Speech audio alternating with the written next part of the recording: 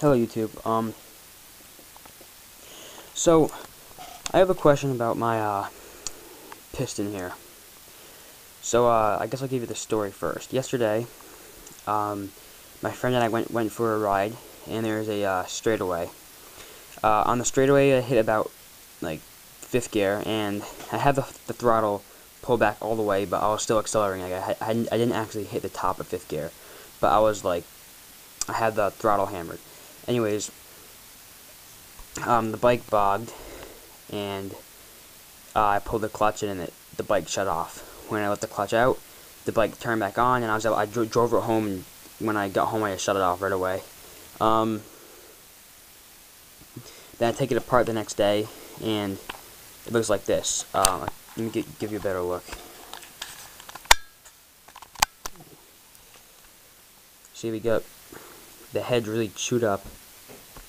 We got a, couple, a big, a big hole there. Then all around here we have, I don't know if you can see that, how I can see it, was all these tiny little holes all around there. Basically all around the head, but there's not really a hole in the middle. There's a scratch in the middle, but there's no, there, all the holes are around the edge. Um, I was just wondering what could have caused this. Um, the sidewalls of the piston, uh, there's se several big score marks in them.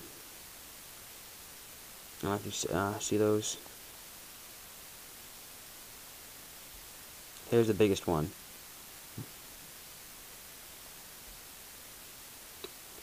And it, the uh, ring uh, appears to have broken and I don't know, is that what caused it? Like, how how how how did how would it just break like that? I mean, like, I'm just confused. Um, yeah, here's another really big groove, right there. Oh, my bad. Uh, yeah, there's another really big groove. See that? Goes right into the top of it.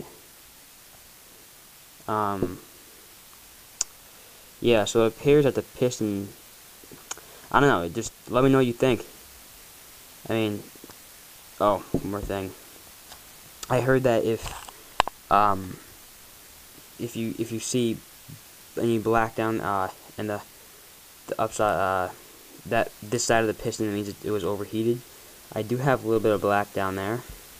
Let me see if I can.